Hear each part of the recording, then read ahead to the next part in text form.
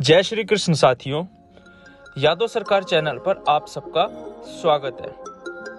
Ahir regiment पे सरकार और फौज का सबसे बड़ा झूठ आज हम आपके सामने पेश करेंगे।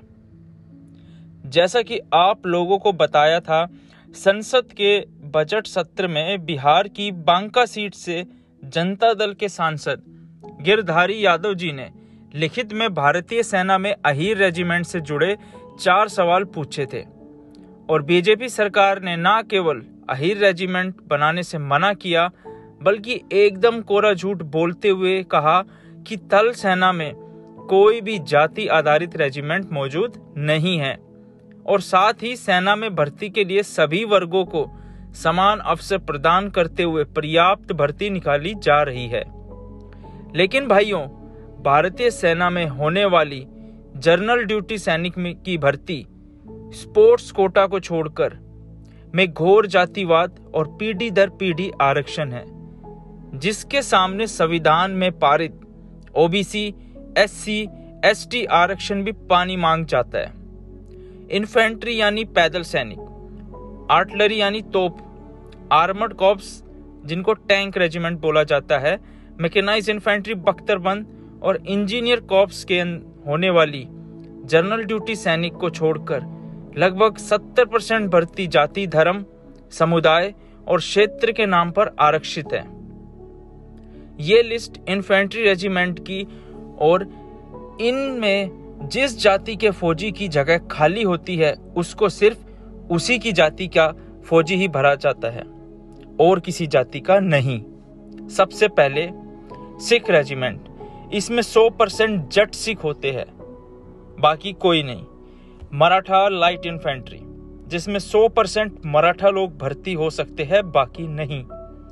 गोरखा रेजिमेंट इसमें सिर्फ़ गोरखा ही भर्ती हो सकते हैं। हाल में कुमायनी गढ़वाली को थोड़ी भर्ती खुली है, बाकी कोई जाति नहीं।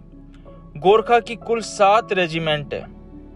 अगली, राजपूत रेजिमेंट इसमें सिर्फ़ 50 परसेंट राजपूत, तीस परसेंट गुर्जर बाकी बीस परसेंट में अहीर, ब्राह्मण, मुस्लिम, कायम खानी को छोड़कर ही भर्ती हो सकते हैं। बाकी कोई जाति नहीं। पांचवी, डोगरा रेजिमेंट। इसमें सौ परसेंट डोगरा, बाकी कोई नहीं। छठी, जाट रेजिमेंट। इसमें नवासी परसेंट हिंदू जाट, बाकी आठ पॉइंट पिचहत्तर परसेंट में अहीर, गुर्जर, राजपूत और बाकी 2.25 परसेंट सबके लिए। अगली, राजपुताना राइफल्स। इसमें 40 परसेंट राजपूत 40 परसेंट जाट, बाकी 20 परसेंट में अहीर, गुज्जर और मुस्लिम। Sikh light infantry. इसमें 100 परसेंट दलित सिख, जिनको मजहबी या रामदसिया बाकी जाति धर्म के भर्ती नहीं। पंजाब रेजिमेंट। इसमें 90 परसेंट सिख और डोगरा। बाकी 10 परसेंट सभी जातियों के लिए। अगली ग्रेनेडियर्स रेजिमेंट इसमें चौसठ परसेंट में राजपूत, जाट और डोगरा 20 परसेंट मुस्लिम, बाकी 10 परसेंट में अहीर, गुज्जर, मीणा, गुजराती, बाकी 6 परसेंट सबके लिए। अगली, कुमाऊं रेजिमेंट इसमें 71 परसेंट कुमाऊनी 26.50 परसेंट अहीर और ढाई परसेंट राजपूत। अगली रेजिमेंट नागा रेजिमेंट। इसमें पचास परसेंट नागा, कुमाऊनी सोलह परसेंट, गोरखा सत्रह परसेंट, गढ़वाली सत्रह परसेंट। जम्मू और कश्मीर राइफल। इसमें डोगरा और गोरखा पिचहत्तर परसेंट, बाकी पच्चीस परसेंट में सिख और मुस्लिम कायम खानी को छोड़कर।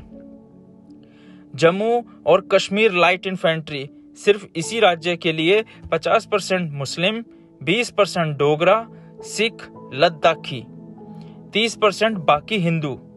महार रेजिमेंट 10 परसेंट महार जाति के लिए 90 परसेंट सबके लिए। गढ़वाल राइफल, इसमें 100 परसेंट गढ़वाली, बाकी किसी की भर्ती नहीं।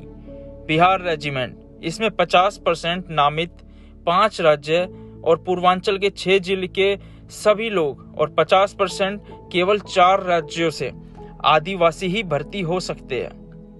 Para regiment. आज से ऑल इंडिया ऑल क्लास हो चुकी है, लेकिन पहले इसमें मिक्स कंपनी होती थी, जिसमें अहीरों की भी विशुद्ध कंपनियाँ थी। Brigade of guards. आज़ादी के बाद ये इकलौती all India all class infantry regiment बनाई गई थी, लेकिन आज इसको मैकेनाइज्ड इन्फेंट्री में बदल दिया गया है। लद्दाख स्काउट। इसमें 100 परसेंट लद्दाख के लोग भर्ती हो सकते हैं, बाकी कोई नहीं।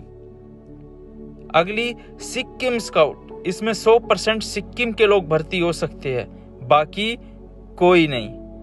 अगली, अरुणाचल स्काउट्स। इसमें 100 परसेंट अरुणाचल प्रदेश के लोग ही भर्ती हो सकते हैं, बाकी कोई नहीं। और सबसे बड़ा मज़ाक है, राष्ट्रपति के अंगरक्षक, जो कि सिर्फ़ जट सिख हिंदू जाट और हिंदू राजपूत जाति से ही भर्ती हो सकते हैं और किसी जाति के नहीं। तो अब आप बताइए, कैसे आपको लगातार झूठ बोला जा रहा है सरकार और फौज के द्वारा? सरकारी स्तर पे किए जा रहे इस अपराध पे कौन कार्रवाई करेगा?